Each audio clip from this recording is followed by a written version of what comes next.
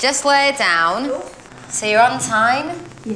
Well done. I was late this morning.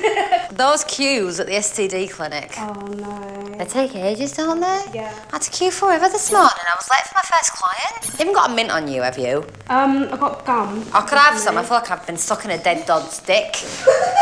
you know that taste of like dead dog dick? Yeah, not very nice. I tell you what I'm going to do.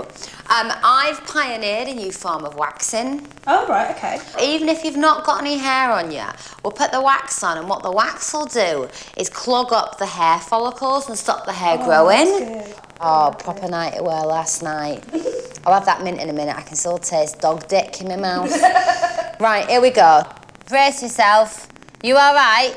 Yeah. Are you ready? Yeah, yeah, yeah. Five, four, three, two. Yeah, I was thinking of getting my tits done. Really? Yeah. I don't like fake boobs though, really. My Gav, right? Yeah. Gav, he said he'd pay for both tits if I had a threesome with Haley from the Bricklayers. That is a classy guy. He's a catch. I'm a great waxer. Really good. I find a really good way to relax my customers to, again, talk to them while you're waxing. And then they forget about the pain. Waxing can be quite painful. My waxing is not painful. I am soothing.